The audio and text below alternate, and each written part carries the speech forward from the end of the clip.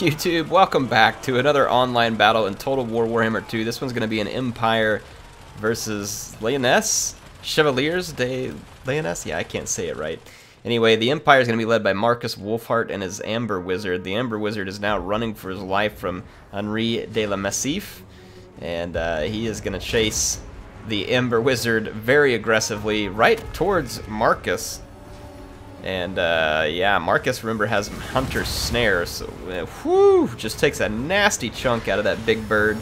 Comes right in for the two stanks, but then gets frozen in place by the Hunter's Snare. And he is going to be ripe for the plucking here as Wulfhart just unleashes it on him. You can say Henri de la Massif, or sorry, Henri Le Massif, pushed out, but uh, here comes Repanse. She is wanting some vengeance for what just happened to her friend. See the Amber Wizard trying to push Henri out, but uh, Repanse coming in early, and she is going to be shut down by the two steam tanks who push her back. She can do good damage to these steam tanks. You can see that between Henri and her. They did manage to take one of the steam tanks down rather significantly. The Empire Army is just flagellants and spearmen uh, along with a warrior priest to help support back. Wow, what a shot by Wulfhart. You see him just take out one of those Royal Pegasus Knights who are trying to get the, uh, the Amber Wizard. That was pretty impressive. So the line of flagellants is going to engage early here, and we're going to have the... I love this unit. Look at this, Grail Knights. And we're going to have the Companions of Kinel and uh, the Royal Pegasus Knights all charging through here, looking to get some work done. Now, obviously, the steam tanks are going to be the key to the Empire army here. And so you're going to see the Empire working very hard to keep them amidst all these spearmen and use the spearmen to keep Bretonnia from getting to them. Steam tanks have steam guns and cannons that can be used all throughout the battle. Basically, they have a lot of ammo. They cause terror, and they can be an absolute nightmare for cheap infantry to try and deal with, such as Bretonnian infantry. Plus, they provide some very long-range work against cavalry.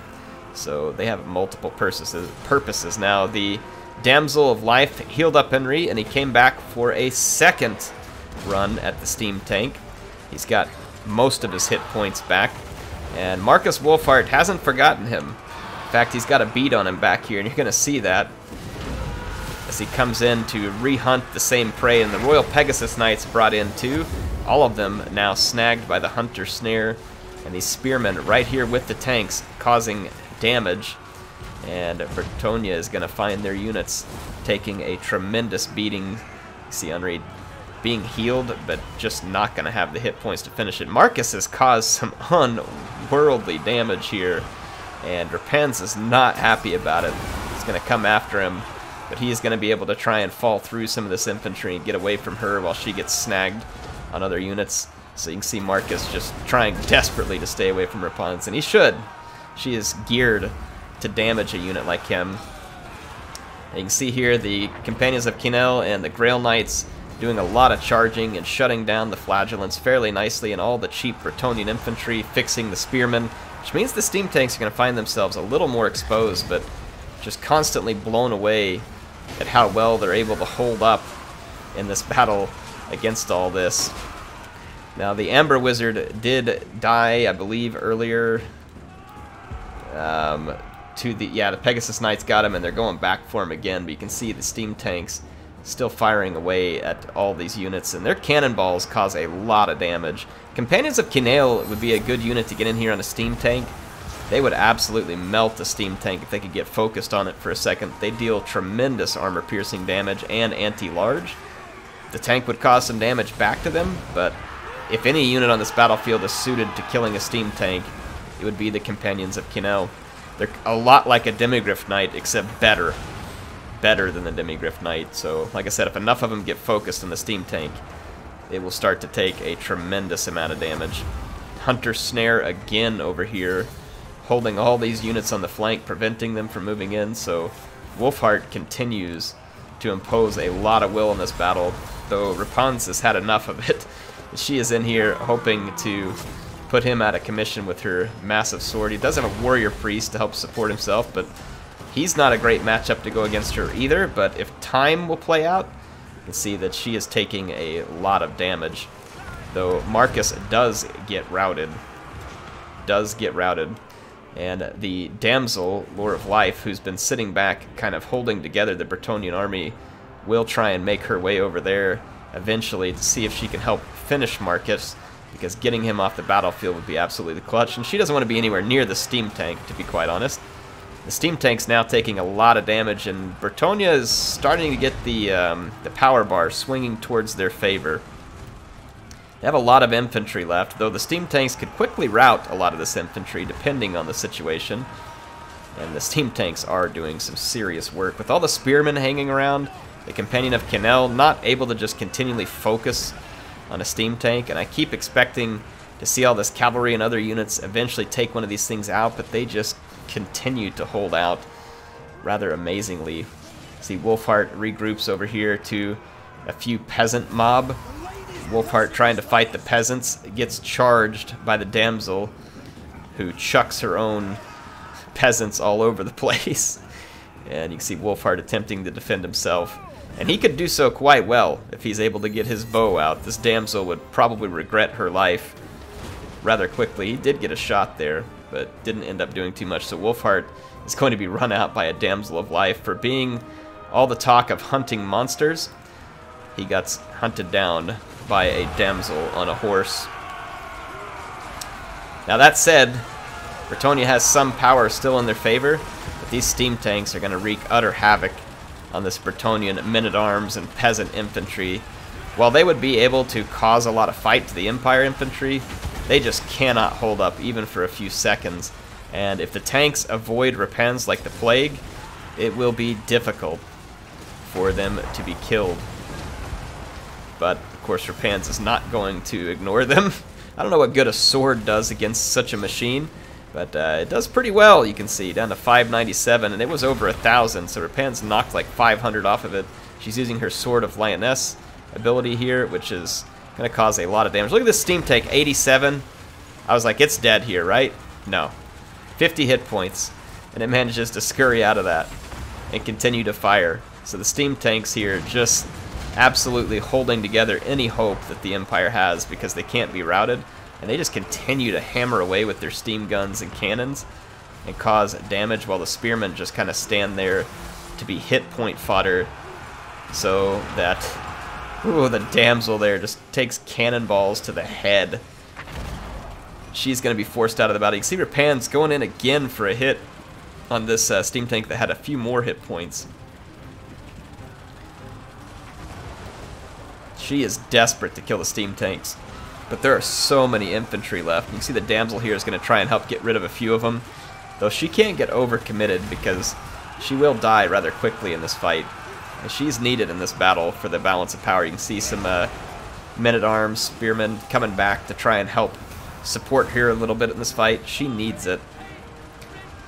See the steam tanks, like I said, just desperately running away. 691 hit points on one, and still the 50 on the other. I was kind of surprised to not see Repanse charge this one right there. She had an opportunity. It was focused on the tank with more hit points, and now the two stanks have locked onto the damsel and want her off the battlefield. And there's not going to be a lot that she can do about it. You can see Repanse back there knocking down a ton of infantry with her special kind of explosion ability. The damsel is summarily pushed out of the battle, and she will not be coming back. These steam tanks have a great firing line here, and we'll be able to take her right off the horse. So she is done. And that leaves Repanse and her few infantry who remain, very few, who remain at this point. She's going to be under constant fire from the steam tanks, the same way that the Damsel was. There is no healing, and the Empire has infantry to try and spare in her direction almost non-stop. So it is going to be a desperate ploy on her part. You can see her trying to dodge cannonballs, everything that she's capable of doing here. There are a few Royal Pegasus Knights, literally three left. Now, of course, there's a tank with only 31 hit points now. It's going to get charged. The infantry managed to block the charge. The stank does not take a single hit point of damage. 31 and lived through a charge from the Pegasus Knights. It's incredible what these tanks have lived through, and you can see that they're just using the infantry to keep Repanse away from them, and it becomes a game of cat and mouse here that time favors the tank because of its guns. They will consistently do damage. If she engages this infantry, then she'll be shot by the tanks. If she goes for the tanks, they should be able to kite through the infantry and continue to fire. Though she will get occasional opportunities such as this to get a charge, but she doesn't actually land any damage and gets stuck in the infantry. This is the risk that she runs in this fight, as she has to pull away from the infantry, of course she will take some damage in the process. I don't know how many of those kind of explosion abilities she can use. I'm assuming at this point that it was numbered. I don't remember specifically how many, but it was probably numbered, or else she could use it here to clean up a significant portion of these infantry that remain. She does have the capability to take out the steam tanks if she could get to them.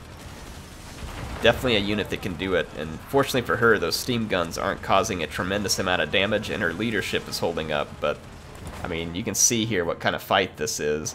Let you watch as she just tries and tries to get to the tanks. Still nothing. 31 hit points on one of the tanks.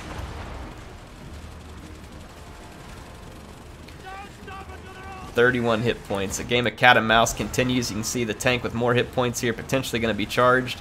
And the Sword of Lyonesse is engaged, but still not a single hit. Look at this. Sword of Lyonesse, a charge on the 31 hit point to and it doesn't hit. the 31 hit point tank avoided the hit.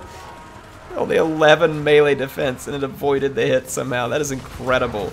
Incredibly crappy for Bretonnia, and incredibly amazing for the Empire that none of these hits are landing on the steam tank. She's charging, but she's not landing a hit as the steam tank pulls away from her. And they're able to just continue firing at her. Her hit points are running so low. This has been an epic battle. An epic battle between the state troops of the Empire and the peasants of Bretonnia. Chevaliers de Lyonesse putting up a great fight.